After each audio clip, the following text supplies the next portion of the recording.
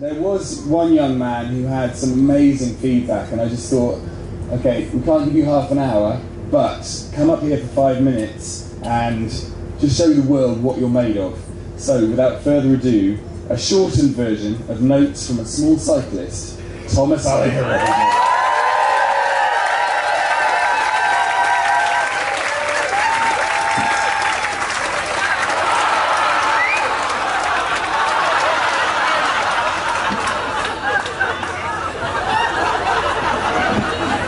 I know that feeling, Thomas.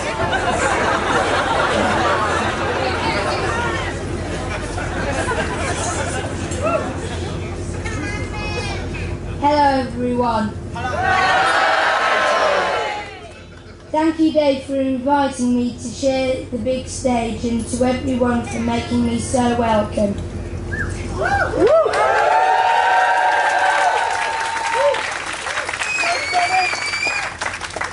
I'm Thomas Ivor Jones. I'm eight and I love riding my bike and going on adventures.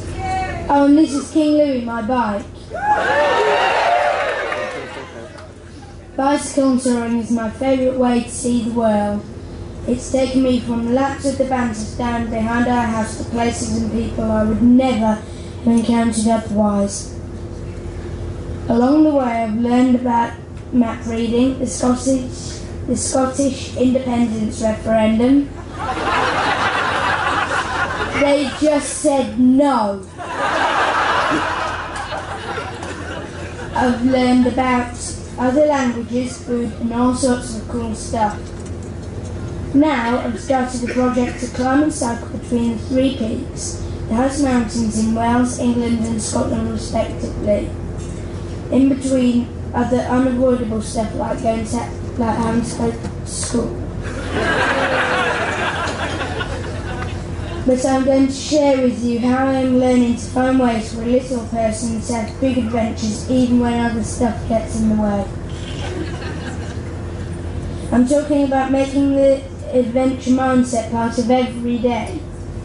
Making your big plans fit your life and turning your dreams into real life adventures to be proud of. Now I could talk for ages about my bike, the kit I use, stuff like that. We can do that later if you like. but the most important pi- piece of adventure gear I have is, drumroll please,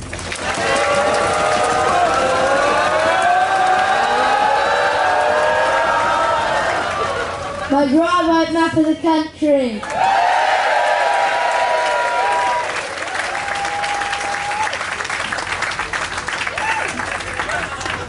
Now this normally lives on our breakfast room wall.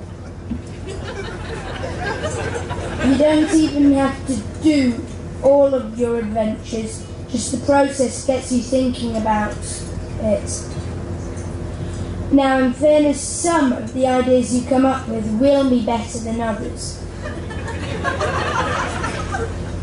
I did have a plan to swim part of a lap around the English coast, but Sean's done that now, and I think that was mad.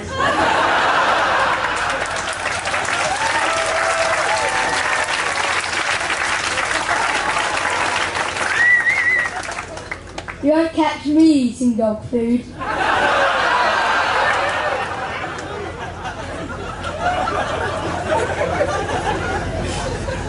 The more you do it, the better you get at it. Although you might want to get a world map if you're ambitious. The point is, adventure is always out there waiting for us. The map is always on the wall, daring us to come up with another cool idea. What a great way to start an otherwise uninspiring day. I just love being able to let my imagination go crazy, and in amongst some of the really bonkers ideas, which are often a lot of fun to imagine, I come up with something that I would really like to actually do. So one day I'd, I had been watching Mark Beaumont's The Man Who Cycled the Americas and and talking about it with Daddy. We started drawing an actual, we could really do this kind of epic adventure. In 2014 and 15, I was able to do a long distance cycling journey with my family. But cut a long story short, we've not been able to do that this year. It's been a very challenging year for me and our whole family. I decided on another challenge based on a linear, linear route from the Llanberis Pass to Fort William, and I really wanted to see it through. So the idea of doing an adventure in small chunks was born. After all, you can do little adventures in the, in the evenings, and at weekends maybe you can string some of those together. We went back to the plan for my challenge and worked out where all the railway stations were on, the, on my route. We broke the trip up into legs of a manageable length that I could cross off as and when the opportunity came my way. As it happens, I ended up doing the second climb first and speaking at the Cycling Touring Festival in Clitheroe. So, we nipped over to the Lake Dis- District and I climbed Scafell Pike in fabulous weather.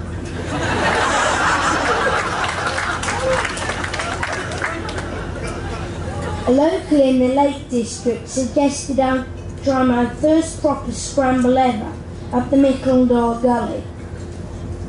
That was definitely time 2 fun. I, I wasn't expecting it to be so loose. Snowdon didn't quite go to plan. The weather pulled in and it took four attempts over the course of three days before I made it to the summit safely. I lost a lot of miles along the road while sat in the car park at Pen-y-Pass watching the rain.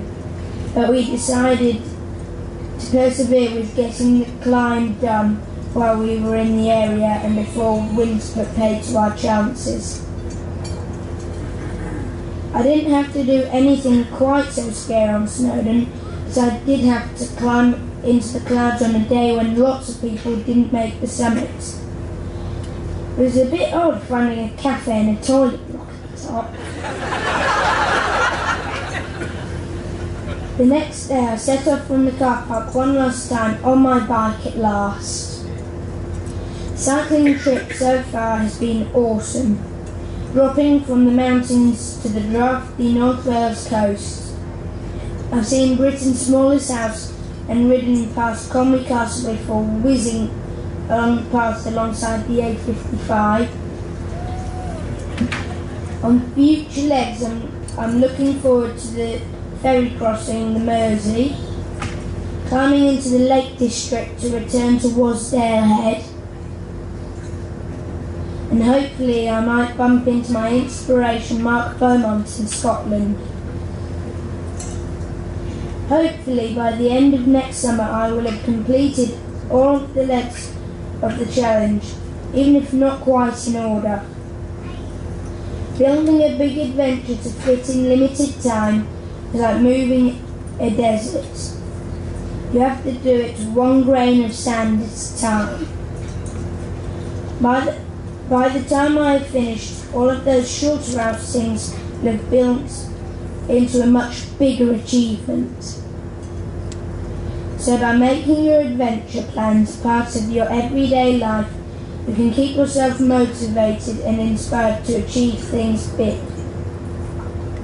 I'm learning to make my own videos and document to document my Southland Climb GB adventure and sharing them on social media.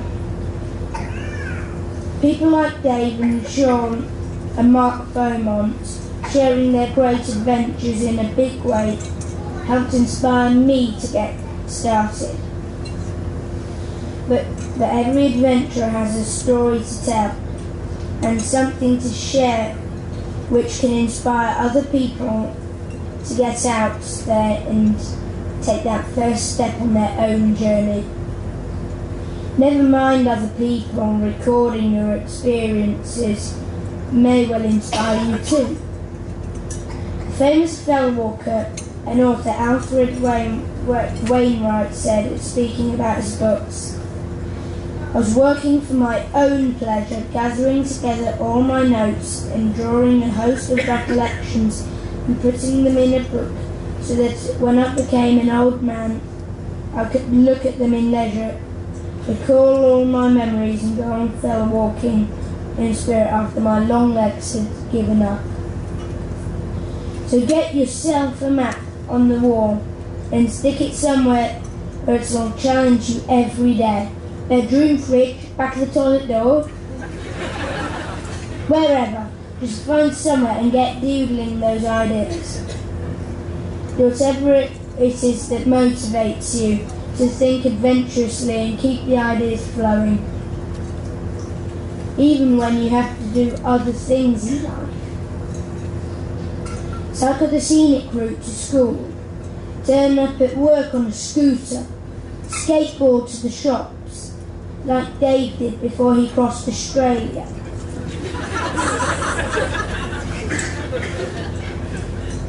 Find ways to make daily life fun and to have tiny adventures that will inspire you to dream big. And just because you might not have had time have time to just ship out and hit the road for months, it doesn't mean you can't achieve something greater than the sum of its parts. Aim high, break an idea up, and treat it as a project. If you'd like to find out more about my adventures, I'm on Twitter. Uh,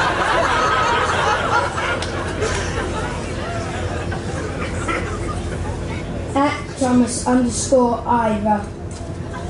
It's been a privilege to talk to you. Thank you very much for coming in. Thank you very much indeed for coming and listening. Say yes more.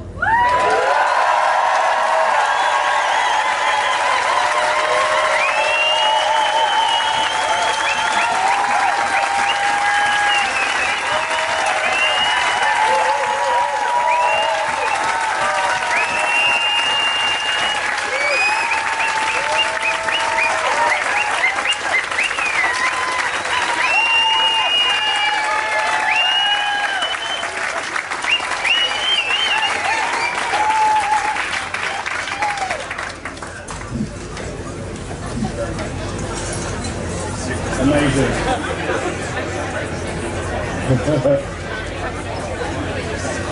Ivor, thank you very much indeed. I tell you what, much like Amy and Ella last night, we're all looking at you and thinking, oh, I wish we'd started like that 30 years ago. You're a compliment to your parents, young man. Good work.